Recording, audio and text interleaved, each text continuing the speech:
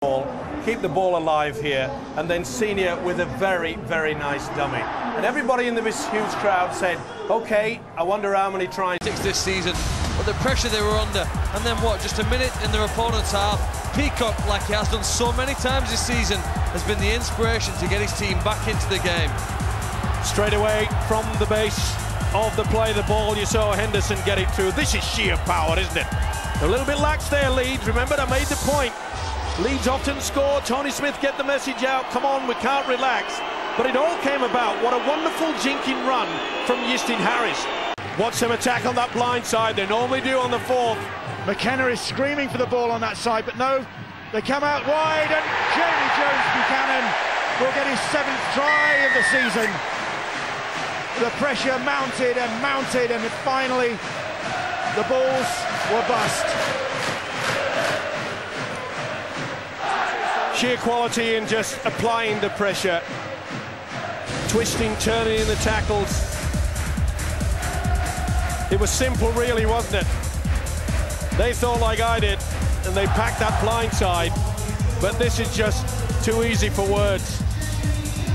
And that will create huge problems for Brian Noble and the Bradford side. It was the manner that that fella Jones Buchanan has scored the try Bit of claret running away on Sin uh, Fielden's uh, mouth or nose or head. Either way, it is dripping all over the joint. Dr. Stevenson diagnosing the situation again. Well, it's a stitch job, I'm sure. Let's just hope they get the right bit then. Bundle backwards in the tackle. I think he took the wrong option there. We had Karl Pratt on the outside. It's on the last now. Harris, little grubber kick. He's chasing it himself. Johnson is there. Has Paul Johnson got this ball down? Brilliant try. Well, was he onside? Well, that's what they'll check, but I can assure you the grounding is okay. Brilliant kick through. He's onside as far as I'm concerned. Yep. He's about half a metre. There he is on your left-hand side. The kicker half a metre on the other side of that 20 metre line. And this will be TRY time. And it will silence this huge Leeds crowd. What a great take. Momentum takes him over. No way in the world is he stopped. That is a four-pointer. And the Bulls are back showing a lot more adventure. Steve, they scored the same try, very exact same format in the last game against Widnes. Know, in fact, in that game, they scored every one of the try when they were close to their opponent's line. Two from kicks and two from running plays. So they like to get near their opponent's line, and they're pretty good at converting it into points. Like you, I've no doubt this will be awarded as four. Is it Paul Johnson's second try of the season and his first for the club since March? It is.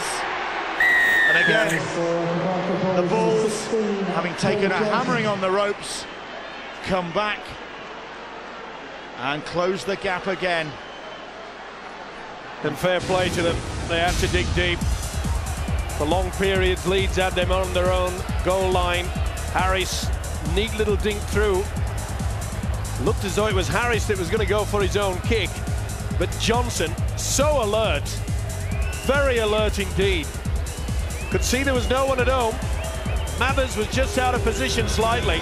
The Bradford Bulls that try to get Chev Walker into touch there. Paul Johnson with the tackle. Calderwood allowed to come straight across the field. Calderwood again. McGuire is under the post. Well, that is a controversial call from referee Ashley Klein, giving the Rhinos another set of six.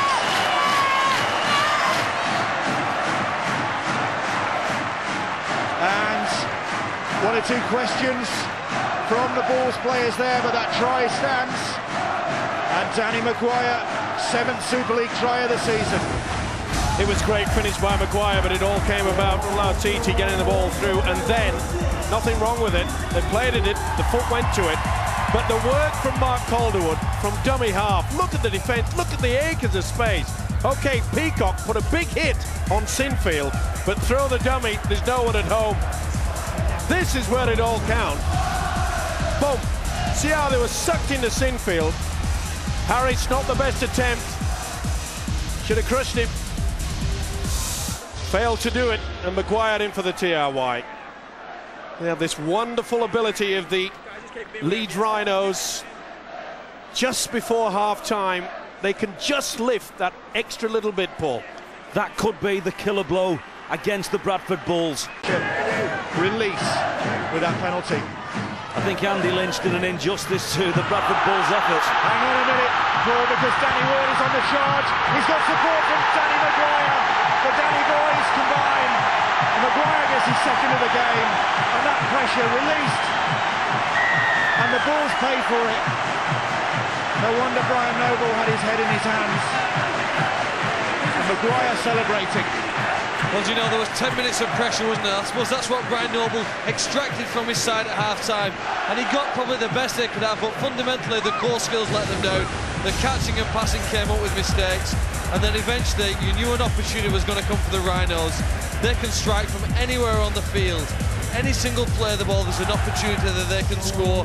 And it's a nice little dummy there from Danny Ward. He's through the gap, and then he stays calm, he stays composed, and he offloads it to the man. Probably the best supporting player in Super League at present. They'll do that to you. They're a quality outfit. But Brian Noble, the Bulls coach, realises that silly play by Andy Lynch gave us away a penalty for the flop when the tackle had already been completed. They should have applied the pressure. They couldn't and then they missed the tackle. And this guy, as ever, over the past three seasons, McGuire, he really has come on a bundle.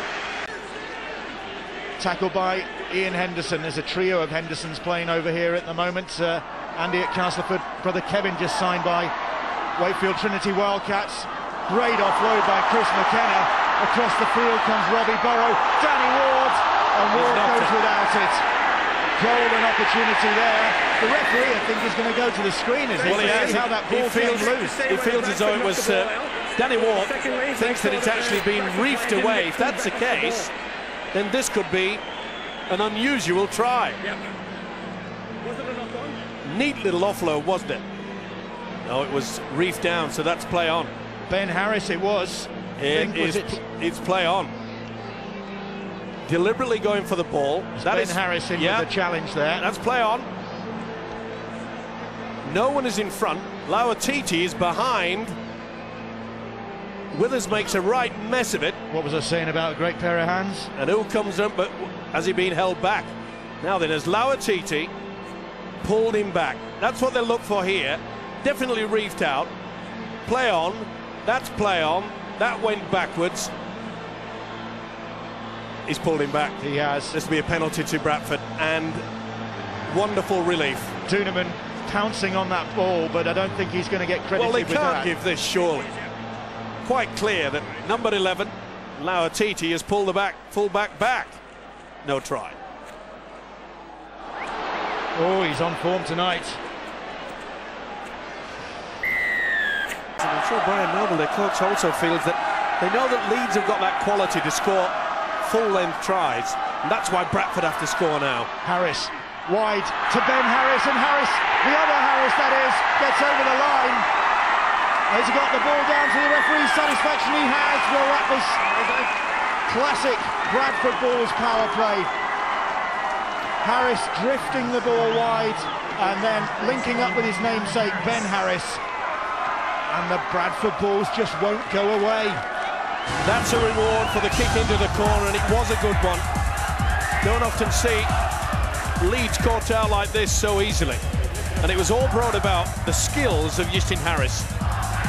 This was a kick into the corner, definitely came off Calderwood's leg. They get the possession, but watch the confusion that Iestyn Harris does to the Leeds defence. Is he going to go on his own? Are we taking? We'll, we'll hang back and find out. You found out a bit too late, and it's cost you four points. Well, it could be six if Paul Deacon can kick this one, and this. Could... But he was actually going to go for the ball. It wasn't. He was just making sure that his winger Marcus Bai could take a clean catch. McDermott with the offload. Ellis bumps off the tackle from Ben Harris.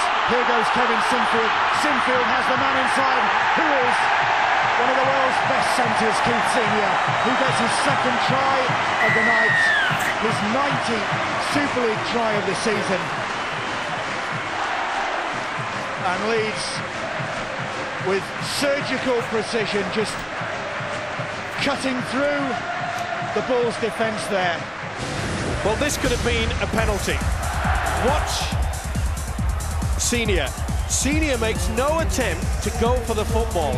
I mentioned the fact he went off the ground, and from here, the offload, as he's done for so many times.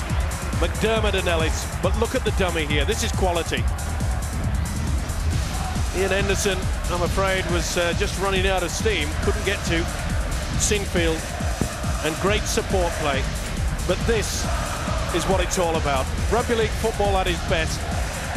Dragging the defence in, two offloads, having the power, smooth and cool. It's a well-oiled machine, and it's working very, very well. Well, the feeling is mutual. It's Jamie Langley, I beg his pardon. That's a great defensive set from the Leeds Rhinos. Bradford having to kick the ball from the 25 metre. Oh, Richie Mazza goes through a slip, and this time Calderwood. Oh, he had senior. Should have oh, shoulder, crying out for a hat trick, and he took it himself. It could still be senior's chance. Sinfield takes the tackle. The Bulls really are on the ropes now. Here is Mathers once more. McDermott. Dummy from Barrie. Well, McDermott's on a roll. Almost uh, heading for a personal best in try-scoring terms this season, Barrie Well, McDermott. Fielden and McDermott, they were having a little bit of a headbutting. Lauitiiti. That was a formality.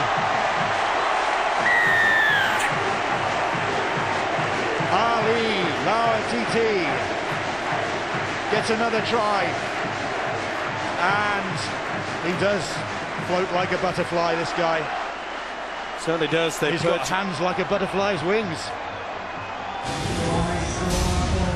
They're large. Uh, not so sure I've seen many large butterfly wings, but it doesn't matter. You know, this guy was brought to Leeds to create tries, and he has this wonderful ability to ensure that he can score them, but put it down to an absolutely beautiful little offload from Rob Burrow.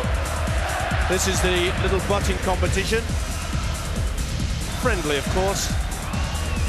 But what about the pass? Absolutely superb. Steve, the long pass in rugby league is the glamorous one that the fans love to see, but the short one is always more dangerous. It's a simple one, it's more effective, and if you can find the man in the hole in the right timing, it usually comes up with a good result. Realistically, Bill, now Bradford are in a three-way race with Hull and Paul Cullen's Warrington side now, and it's all about third, fourth, and fifth. I feel for those three teams. Who'll finish where? I'm sure Paul Cullen would like to think as Brad Myers comes up with that ball. Paul Cullen would like to think it'll be Warrington in third place, and Myers gets the try. His sixth for the club, the former Brisbane Bronco. Well, it's a high enough bomb. Gave them all the time in the world to get underneath it. And they got there in numbers, and that's important. Deacon put plenty of height on this. The best from Richard Mathers. Take nothing away from this fella. That's a good take. You can see that Richard Mathers had taken off a little bit too early. It's mine. It's four. Surely it'll turn into six. Well, they certainly got back there in numbers. He really has given a captain's performance as Jamie Peacock in defeat. Both the captains have been outstanding tonight. His opposite number, Kevin Sinfield. Johnson now. McKenna is herring. McKenna tries to get the tackle in. Johnson is going to go all the way. That is a great try. Second try on his return for Paul Johnson. And the Bulls at least are ending on a positive note. They don't come. They don't come much better than that. William, that was absolutely superb. They're testing their arm. They know that the seconds are ticking away. But look at this. Look at the gap there. Couldn't fill in. McKenna was supposed to. He knew he had the legs. That is a wonderful effort. Sit back. Forget about your cup of tea. And enjoy this looking, looking, anyone around? Not the best attempt. fully deserved. Deacon, another success. It's 36-26, just, just 10 points in it, but time is running out for the ball. Well, he knew he couldn't get a fingertip to it, just poked it with his toe. That's the third tackle. A bit of the sting in the tail here. Peacock flips the ball out. Robbie Paul loses it. Oh, they're going to get punished here. No, a tap on the ankle by Ben Harris. McGuire is brought down. Oh, this is silly play from Marcus Bai. And, uh, I know they had a shot at McGuire. Well, while they're sorting that out,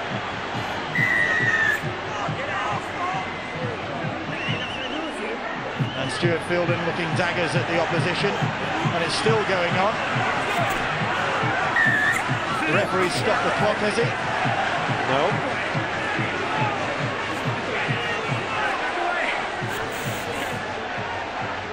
Ashley Klein just having uh, one or two words. Some pretty fierce faces there. And Iestyn Harris is not happy because uh, Danny McGuire lifted the ball carrying arm. The elbow went straight into the face of. Well, Iestyn Harris on his return to Leeds, where he holds records for goals in a match and points in a match. It's always a case, Bill. There's no end the night in the sin bin. the